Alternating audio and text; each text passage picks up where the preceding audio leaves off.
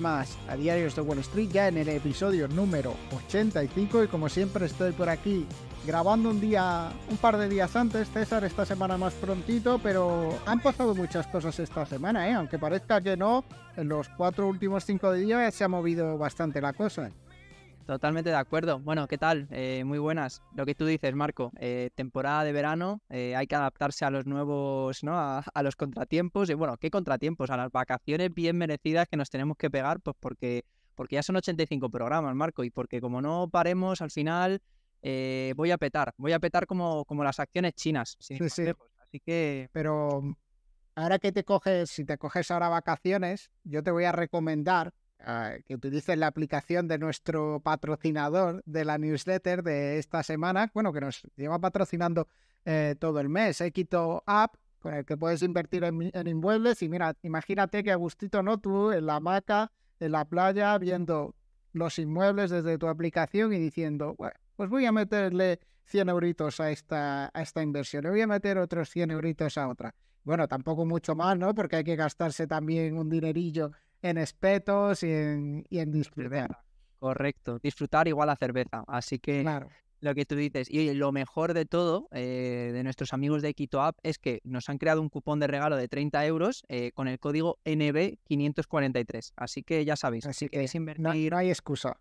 Exacto. Si queréis invertir en el mercado inmobiliario, desde únicamente con tan solo 100 euros, aquí no hace falta millones para poder comprar la casa entera, sino que que bueno, podéis, podéis comenzar a invertir desde, desde solo 100 euros y sentiros terratenientes, ¿no? Sí, claro.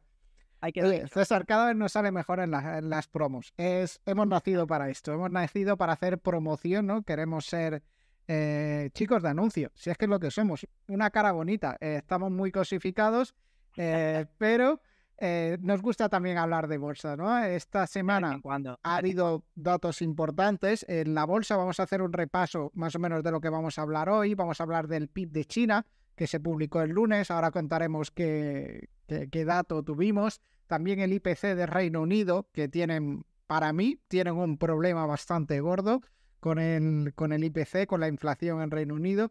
También hablaremos de las probabilidades de recesión, que parece que cada vez están están más lejos, de los tipos hipotecarios en Estados Unidos que siguen estando muy altos. También hablaremos de los resultados, que ya estamos en temporada de resultados. Vamos a ir eh, cómo está ese termómetro del mercado, vamos a ver cómo han estado saliendo.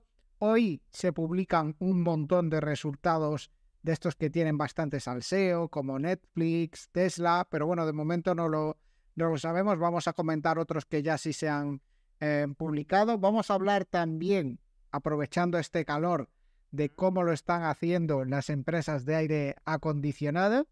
Y veremos por último también qué pasa con el ETF de Bitcoin y, BlackRock, que llevamos varias semanas comentándolo. Ha habido novedades, así que eso lo comentaremos al final. Pero bueno, César, vamos a arrancar con ese PIB de China. Eh, suerte el dato, suerte el dato, 6,3% frente a un 7,3% esperado la cosa no pinta muy, muy, muy bien, ¿no?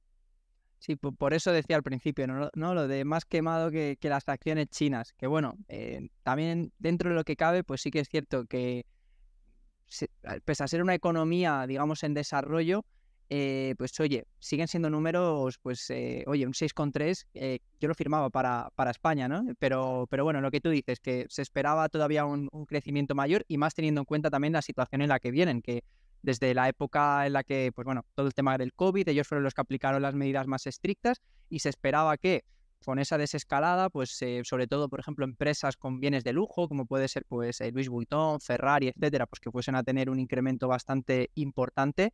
Y, bueno, al final yo creo que, todas esas previsiones optimistas se han quedado un poco en, pues bueno, en, el aire, ¿no? ¿no? No se han transformado como tal. Pues sí, mira, eh, yéndonos a las empresas así, las empresas tochas, me he ido eh, básicamente a Tencent y, a Alibaba, que parecía que venían bien, venían recuperando, pero en lo que va de semana, eh, Tencent se deja un 2,6%, mientras que Alibaba se deja un 1,43%. Más o menos lo mismo que se deja en el último mes, es decir, que estas últimas caídas les, han hecho lastrarse bastante. Alibaba va un poquito peor, en el último mes se dejó un 6%, en los últimos seis meses casi un 9%. Lleva un año complicado, Tencent, a pesar de ser un gigante eh, tecnológico eh, que le debería haber ido bien como a la gran mayoría de tecnológicas durante este 2023, pues la está pasando bastante mal. No termina de despegar y sobre todo también lastrado porque la economía china no termina de arrancar, ¿no? Que si prohibiciones por el COVID, eh, el crecimiento menor de lo esperado, la guerra yo creo que no le ha venido nada bien tampoco a China, así que bueno, eh, datos que, no son tan buenos y que hilan también con otra noticia que íbamos eh, a comentar, me, salto la parte del IPC de Reino Unido, ahora lo comentamos, que es que Goldman Sachs recorta las probabilidades de recesión el próximo año.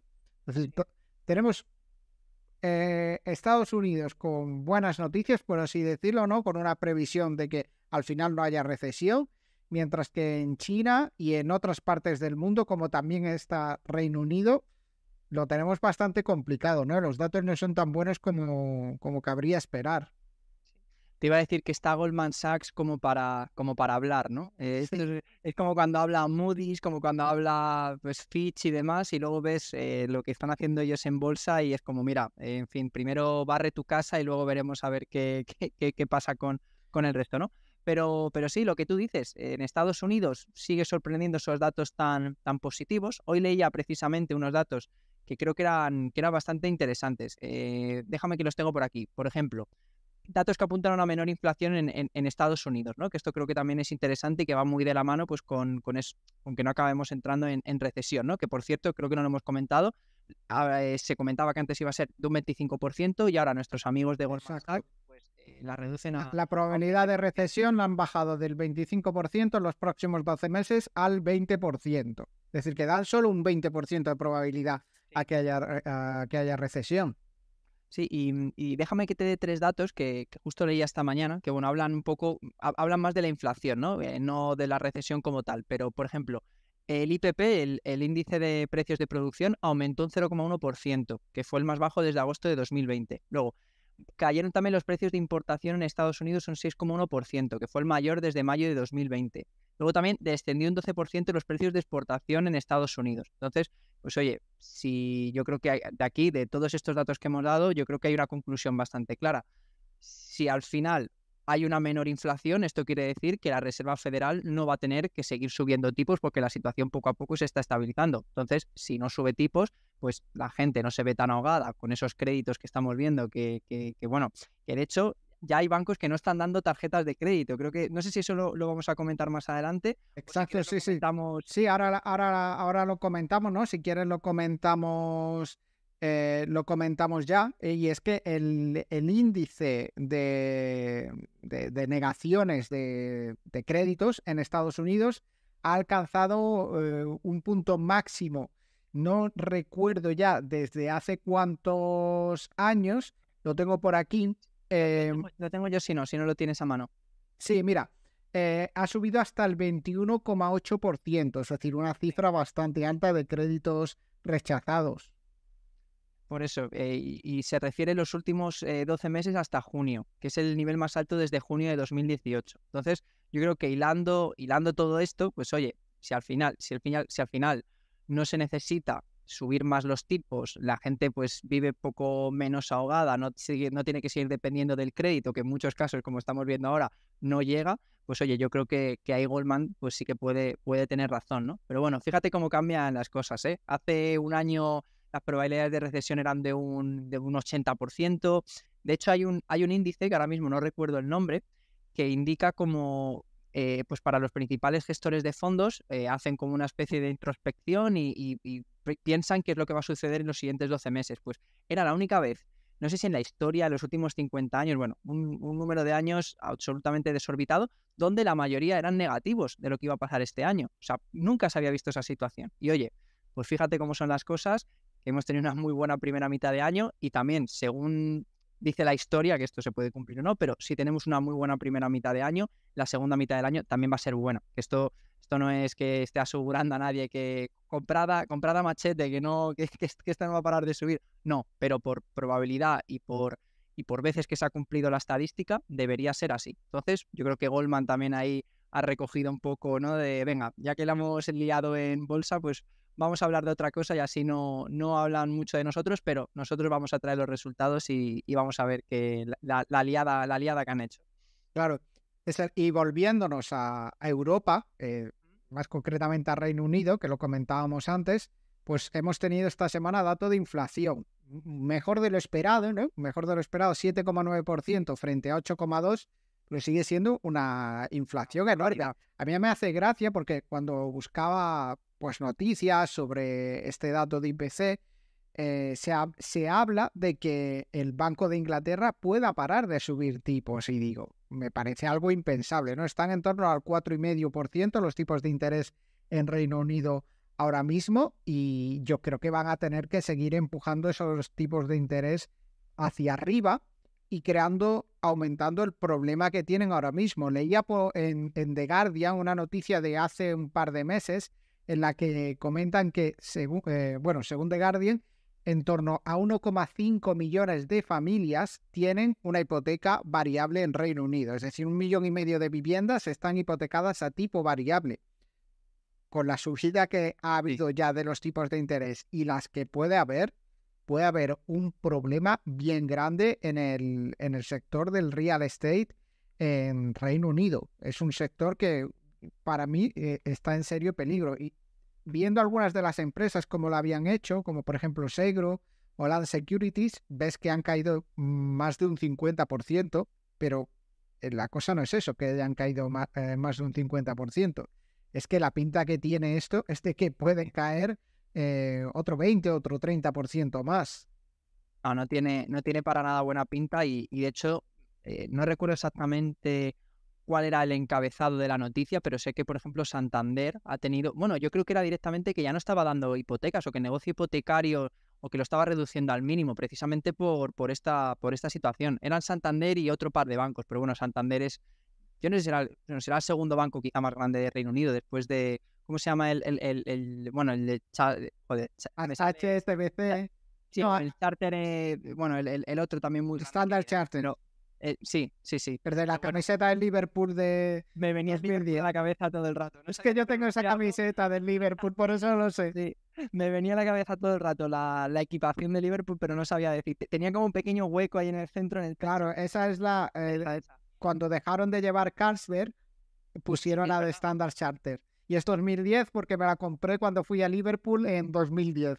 Así que eso, esa época la de debieron ganar la Champions, ¿no? Porque me suena con lo de, esa época, Benítez, ¿no? No, no, en esa época estaba fatal. Eh, yo creo que son los últimos años de Rafa Benítez y tenía un equipo realmente lamentable. El delantero era Babel, em, estaban grandes estrellas como Kuit, eh, bueno, no sé ni cómo se, cómo se pronuncia. Sí, sí, Y estaba todavía Fernando Torres, estaba Gerard, estaban Carragher quedaban todavía estrellas de ese equipo, pero, pero no estaba, caída ya, ¿no? No estaba muy bien, eran los últimos flecos, creo yo. De hecho, yo vi un partido, eh, curioso, vi un partido de clasificación a Europa League. Que jugó en, el campo. En, Anfield. Y era eh, Liverpool contra un equipo llamado Rabotiniki, un equipo chipriota. Así que imagínate la situación del Liverpool cuál era en esa época que estaba jugando previa de Europa League ya, en, aquel momento. No era, no era muy muy buena, pero he de decir que ver calentar a Gerard era un espectáculo. Verlo tirar desde fuera del área, iban todas a la absoluta escuadra. Es como ver a Stephen Curry tirar triples en el entrenamiento, pues dices, es que si en el entrenamiento las quedaban todas a la escuadra, como no marcan 50 goles por partido? Pues increíble. Uno con la zapatilla y otro, y otro con la mano. Sí, sí. Así curioso, curioso. Desde aquí nuestro homenaje a ese gran Liverpool, Marco. Sí, sí, sí, con sus grandes, con sus grandes estrellas. Eh, Maxi Rodríguez también estaba en ese Liverpool. Bueno, había gente, había gente todavía conocida. Y, de ahí eh, nos podemos ir, si quieres también, a hablar de los datos hipotecarios volviendo a Estados Unidos, que, que no están siendo muy buenos. este sí que es un golazo por la escuadra de, de Gerard, ¿eh? los, tipos hipotecarios. Los, tipos, los tipos hipotecarios en Estados Unidos suben al 7%, ¿no? Y es que mientras que en Europa vemos como parece que todo está un poquito más controlado, la inflación es más baja, países como España han conseguido bajar eh, esa inflación, eh, ese incremento de la inflación ¿no? al, al 2%, al 1,9%, eh, parece que todo está más controlado y que la situación puede que sea más suave, pues en sitios como Estados Unidos tienen los tipos hipotecarios ya al 7%, imagínate, una hipoteca al 7%. Esto explica también el dato que ha salido, creo que ha sido hoy, de permisos de construcción en junio, que se ha quedado 50.000 permisos por debajo de lo esperado. Un dato bastante malucho. Pues sí, y yo no sé, Marco, si quieres comentar también el, lo comentamos, lo que sería un dato curioso, ¿no? sí, sí, sí. Haciendo números de esto para... Le voy a dejar de un 7, de un 5. Eh, perdona, ¿qué, decías? No, que lo quería dejar, digo, a ver si lo quieres comentar tú, porque lo tenemos por aquí y es que me parece, me parece increíble, lo, lo voy comentando si quieres. Mira, para un presupuesto mensual de unos 3.000 dólares, con un tipo hipotecario del 2,65%, que fue el mínimo eh, hipotecario de Estados Unidos en, en enero de 2021. Es curioso, cuando en España yo creo que el mínimo hipotecario, yo creo que se han dado hipotecas al 0,20 algunas personas. Sí, sí, sí, total. A funcionarios y todo eso con, con trabajos fijos, yo creo que se han dado hipotecas ultra mega bajas casi al 0%. Pues bueno, haberse hipotecado al 2,65 con un presupuesto de 3.000 euros te podrías haber eh, comprado una casa de 641 dólares, eh, 41.000 dólares mientras que con el tipo hipotecario del 6,96%, ahora mismo te podrías comprar una casa de 444.000, es decir, casi 200.000 dólares menos perdidos de poder adquisitivo en poco más de un año. ¿eh? Es que esto es increíble. Un 31% menos. O sea, uno de cada tres euros se van de tu cartera y, no van a volver. O sea que... es tremenda. Y esto es, y esto es muy importante porque al final el, la gran parte de nuestro sueldo en lo que se va es en pagar la renta de donde vivimos, ya sea una hipoteca o ya sea un, alquiler. De hecho, leía por ahí que, que estaba ya, se me ha olvidado meter esta noticia en el podcast, pero era un tema que ya comentábamos hace, hace un tiempo.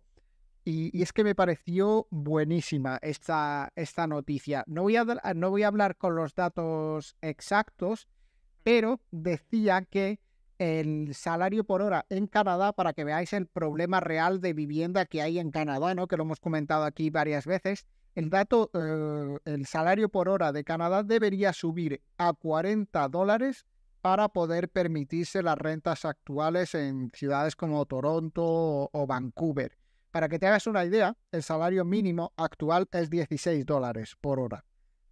¿Cuánto tiene que subir? doble. Sí, sí, para alquilar un piso normal de dos habitaciones, ¿eh? Nada de lujos, nada de ultra mega lujos de, de casoplones, no, no. Y para, y para alquilar un piso de una habitación, eh, creo que estaba en torno a 36 dólares el, el, salario por hora donde tendría que estar para poder permitirse una persona.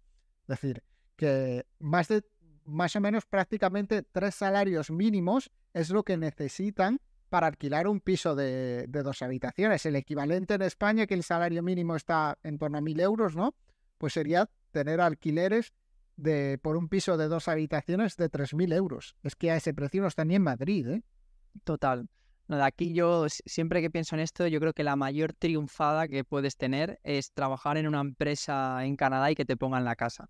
Que, bueno, yo conozco algún caso, pues un par de amigos que, que están ahora trabajando en Estados Unidos y, claro, es que es eso, o sea, evidentemente ganan mucho porque también en principio se te iría mucho en el tema de la, de la vivienda, pero si tienes la vivienda pagada, aunque el coste de vida luego allí, pues muchísimo más caro, ¿no? Que hay una cerveza, por ejemplo, en Nueva York son 9 dólares, por lo que me cuenta mi amigo, más el dólar que tienes que dejar de propina. Pero, pero si te dejan, si te ponen la casa, sí que Marco, yo creo que al acabar el podcast vamos a buscar algún, algún vamos a buscar Canadá y a 40 dólares a 40 dólares. te digo, no me veo cambiando Málaga por Canadá, ¿eh? Visto así. No, no, no, veo. No. no, no, me veo, no me veo yendo a, Canadá. Y bueno, si quieres hacemos repaso de lo que han hecho los sectores en la última semana. Lo que mejor ha ido ha sido tecnología.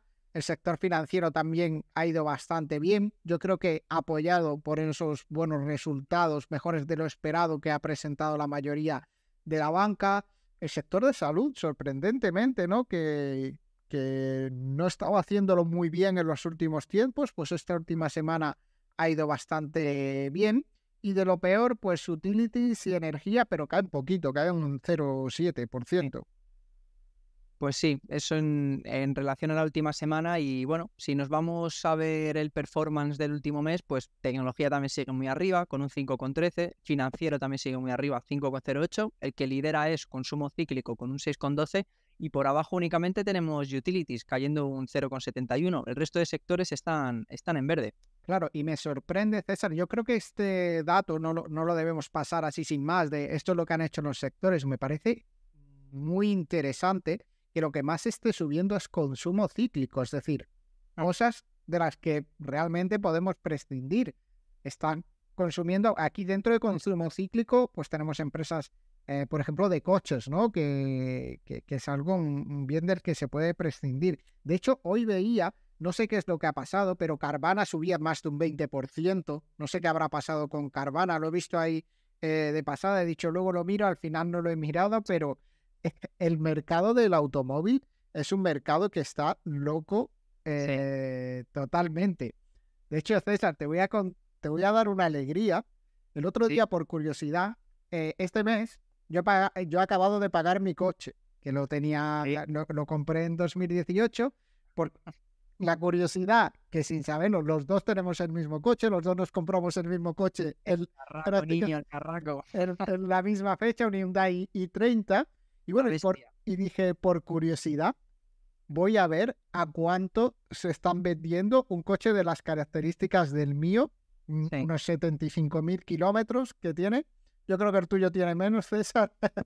51 tiene el mío el, mío, el mío le he, dado, le he dado más trabajo, pues unos 75.000 kilómetros y 5 años, un coche de 2018. Pues como dato doy, a mí me costó eh, 15.400 euros el coche y se están vendiendo de segunda mano por las mismas características a 16.500, 17.000 euros. Menudo bingo, ¿eh? Pues es una auténtica barbaridad. Si no necesitara coche, lo vendía ahora mismo. Si yo, no necesitara el coche para nada, lo vendía ahora mismo y hubiera hecho el negocio del siglo. Disfrutar cinco años de un coche y venderlo más caro de lo que te ha costado, una auténtica, una auténtica triunfada. Si tú no lo usas mucho, César, planteatelo y espérate a que bajen, a que bajen los coches. Sí, no, además que, que, lo típico, ¿no? Que, bueno, que lo hemos escuchado toda la vida y que, que ha sido así, quitando, yo creo que, que, se empezó un poco a descuajeringar el tema de los precios desde, desde el tema de, primero, de lo que costaban los containers en la época del COVID y también en la escasez de, de, microchips. Entonces, claro, ahí los coches de segunda mano han, han, subido mucho de precio por eso, porque no había coches nuevos, pero ahora ya sí que se ha regulado otra vez el tema de la, de la, de la oferta.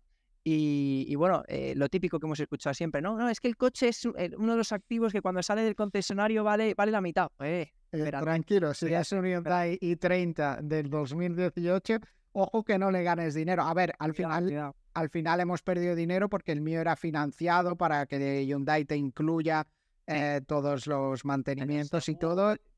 Yo qué sé, con financiación pon que haya costado 18.000, es decir, pues eh, la, cuota te ha salido por 1.500 euros, has disfrutado de un coche 5 años, es un auténtico... Buen renting hemos tenido si lo vendemos. Exacto. Y eso te da unas pistas también de cómo está de caliente este mercado. Y es que parece que, que no hay coches, ¿no? Que la gente está dispuesta a pagar por los coches bastante o, o que simplemente han subido, ¿no? No sé cuánto... Claro, me falta por mirar a cuánto está el modelo nuevo, ¿no? cuánto cuesta ese, ese mismo modelo de coche eh, nuevo. Yo lo miré hace un tiempo y recuerdo que en la web estaba en torno a 20.000 euros, que seguro que en el concesionario le puedes descontar un poquito más, pero es que está muy parejo con el precio de, de un coche de segunda mano, ¿no? A mí me parece realmente, realmente sorprendente.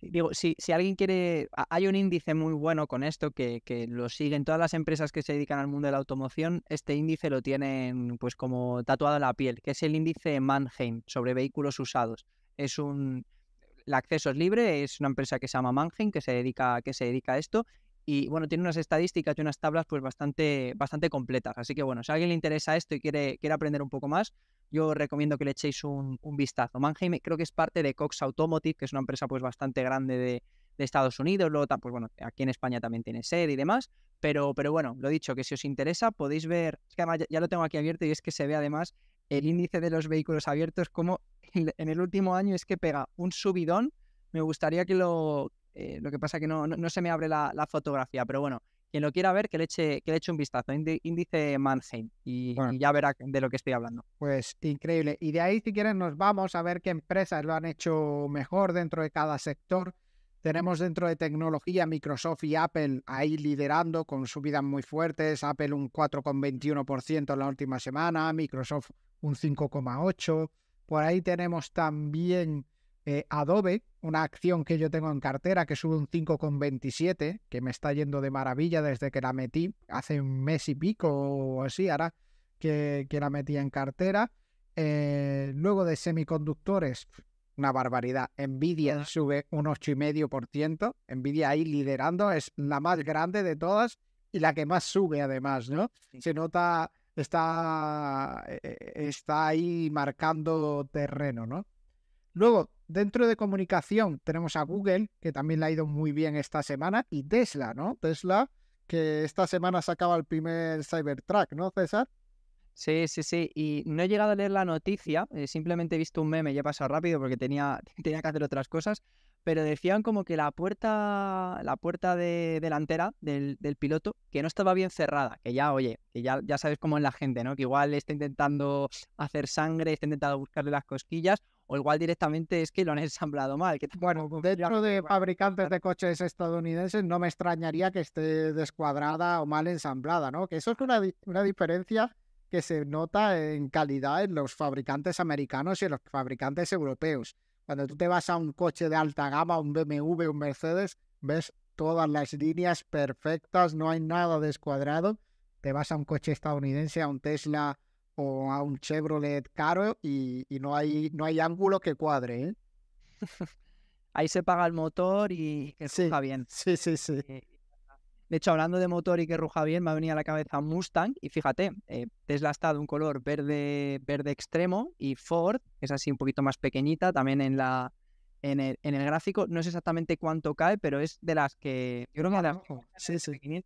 creo que ha sido porque han bajado el precio al, F-150, a la, tanqueta esta que tienen, que ha sido un poco pues, un movimiento similar al que hizo Tesla, lo que pasa que Tesla, pues bueno, ha sido bajar precios y están doblando las entregas. Entonces, al final, pues oye, si doblas también las entregas, por mucho que reduzcas tus márgenes, estás ganando en cuota de mercado y eso hace que la competencia no venda tantos modelos, por lo cual es un, es, es, un win-win absoluto, ¿no? Pues bueno, yo creo que Ford ha intentado ir por ahí también con el tema de la bajada de precios pero igual llega tarde, igual llega tarde ya, porque es que Tesla, eh, una empresa que sí, que está muy cara, una empresa que, tiene unos coches que de vez en cuando el autopilot día una y, en fin, que se pueden cargar, sí, sí. Pero, eh, oye, ahí está, y cada vez más aposentada en la sociedad, eso creo que es una evidencia, nadie lo Sí, sí yo cada vez veo más, ¿eh?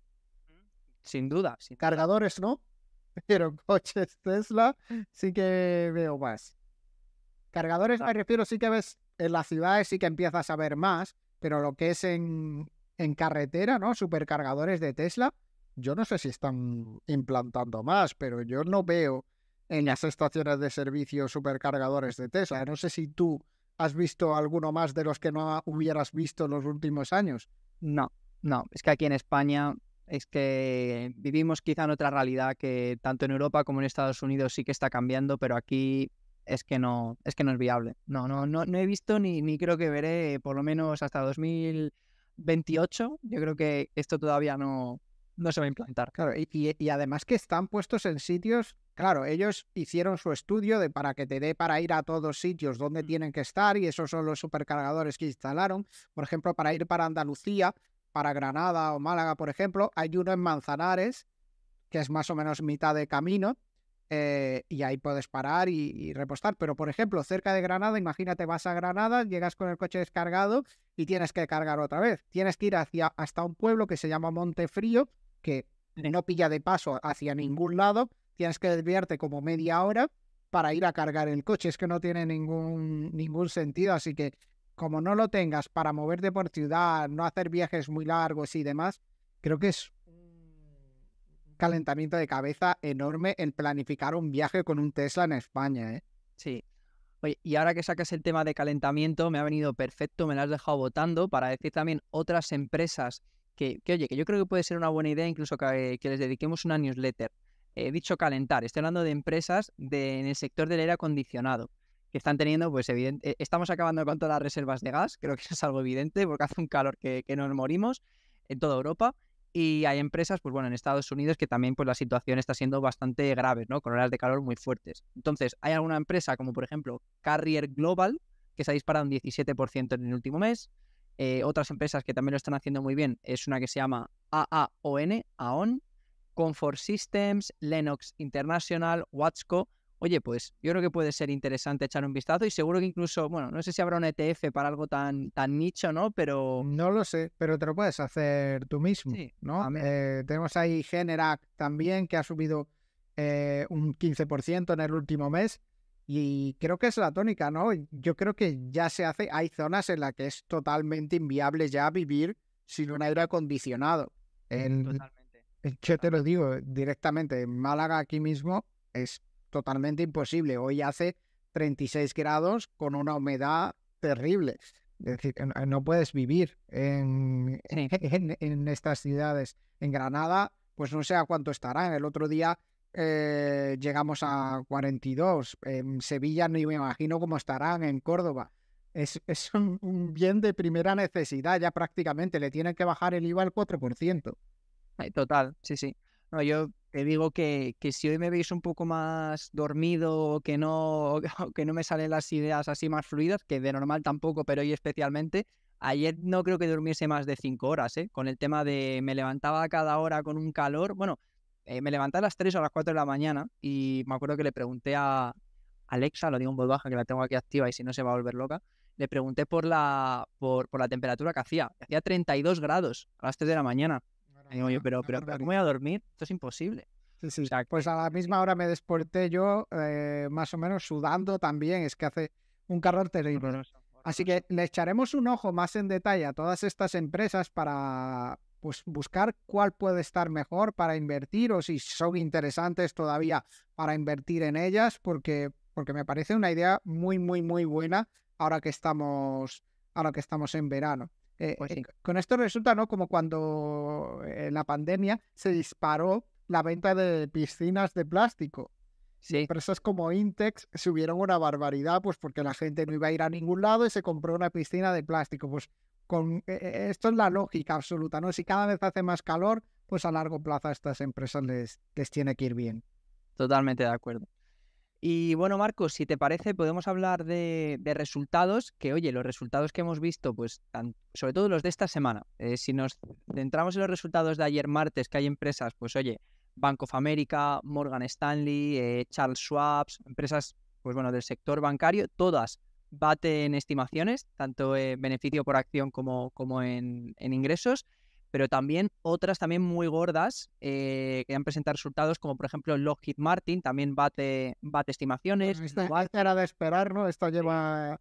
Eh, ni en sus mejores sueños hubiera soñado el CEO de Lockheed Martin con un 2022 mejor y 2023 fabricando misiles, tanques.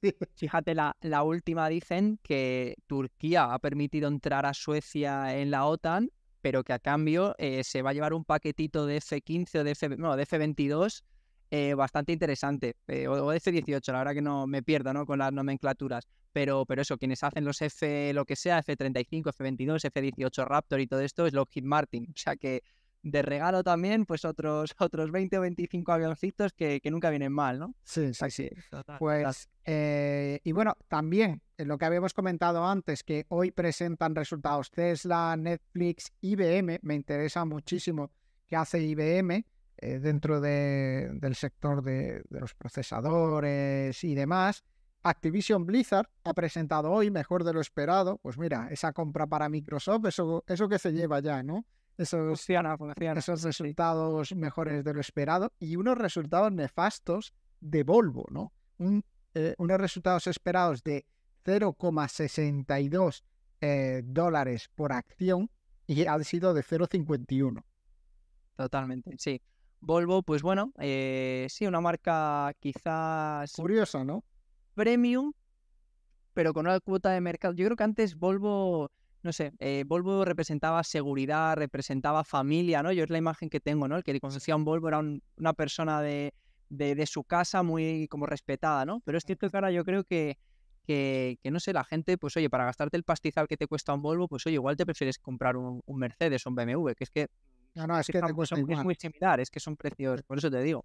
Te cuesta eh, absolutamente igual. Pues si quieres nos detenemos un poquito más en ver los resultados de Goldman Sachs, que ha sido el único banco y de hecho, junto a Volvo, la única empresa de esta semana de las principales, ¿no? De las grandes, eh, diríamos de las top 20 o top 30 de capitalización, eh, que han sido peores de lo, de lo esperado. Voy a poner por aquí a compartir la pantalla. Sí.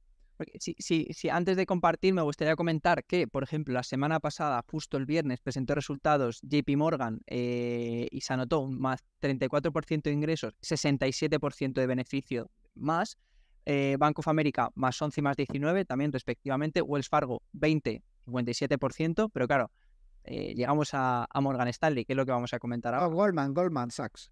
Ay, perdón, Goldman Sachs, perdón. Sí, sí, sí. Goldman Sachs que, bueno, pues eh, contrasta con todos estos datos que me das y presenta un resultado eh, year on year comparado con el año pasado, un 58% peor. Es decir, ha caído a más de la mitad, a menos de la mitad, el beneficio neto del último año. Y es que cae, por ejemplo, la facturación, eh, los ingresos caen un 8% de la, del banco en el, en el último año. Son unos resultados totalmente nefastos. Ya hablábamos hace un par de podcasts, creo, de que el tema de esos créditos a través de Apple no estaba yendo muy bien.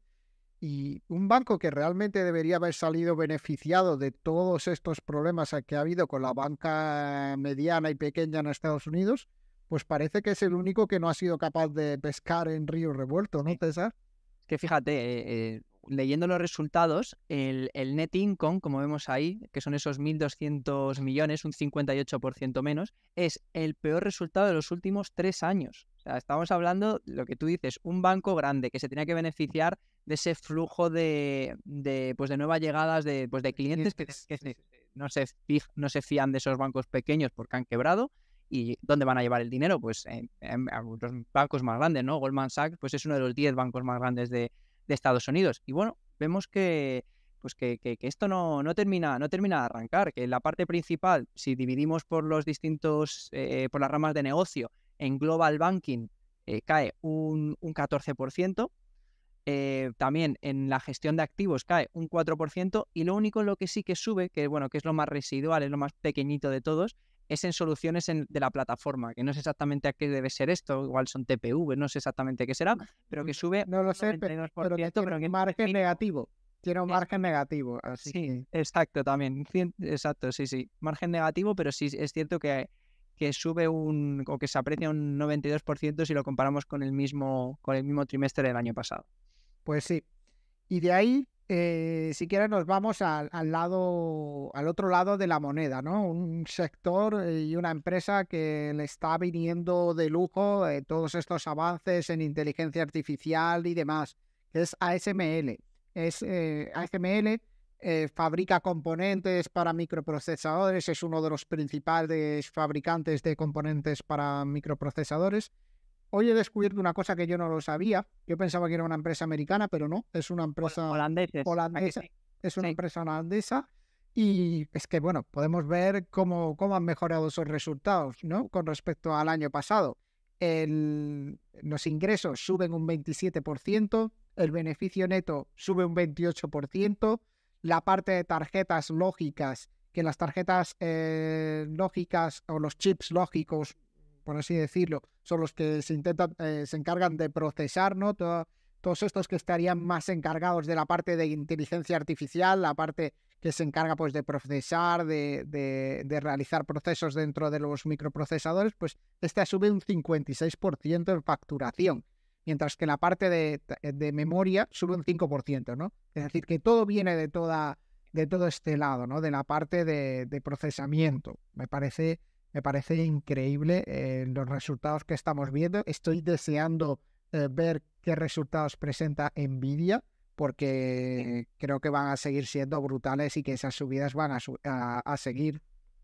Sí, y además comentabas algo también interesante. Em, comentabas antes de los resultados, por ejemplo, de IBM, que IBM también está buscando a ver si puede meter colmillo a pues alguna empresa más pequeñita de semiconductores, que lo, leí hace, hace relativamente poco. Y, bueno, evidentemente que los resultados de, Nvidia, todos sabemos que van a duplicar por todas partes, pero la pregunta es, ¿será suficiente?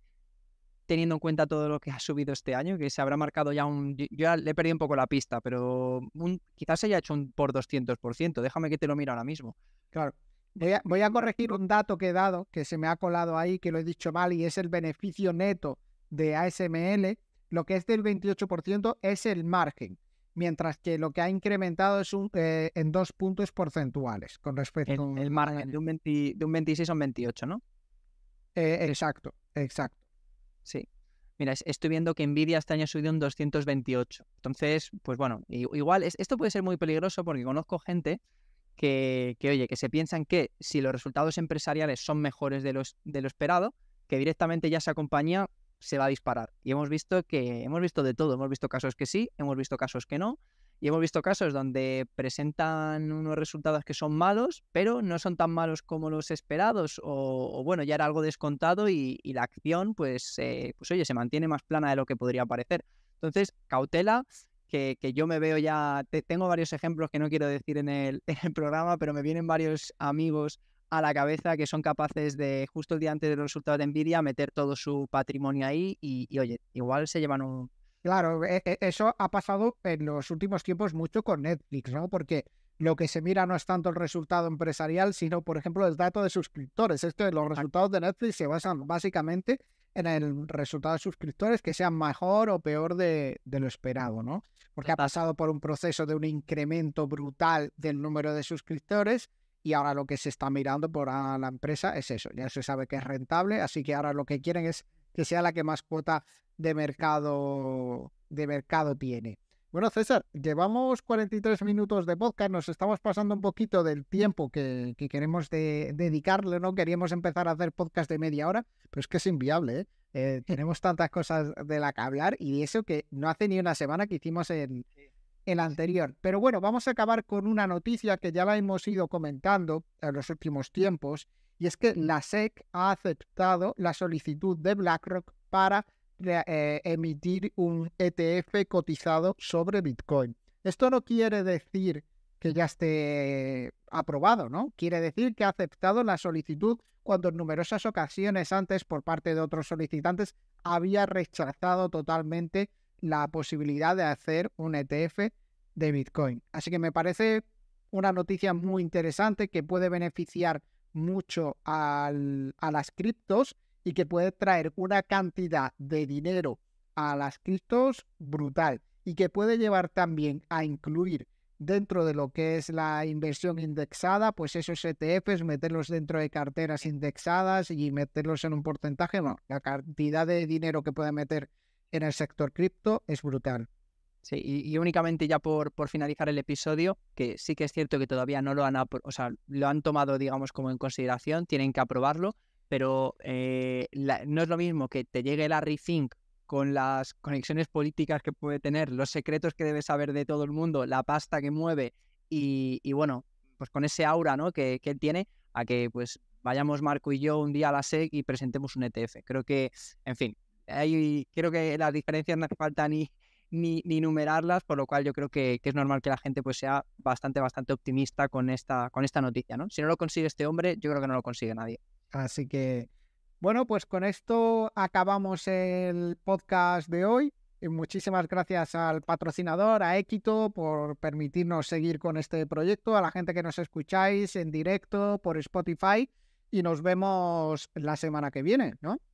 Exacto, eso es. Así que un fuerte abrazo y nada, a disfrutar de la semana. Hasta luego.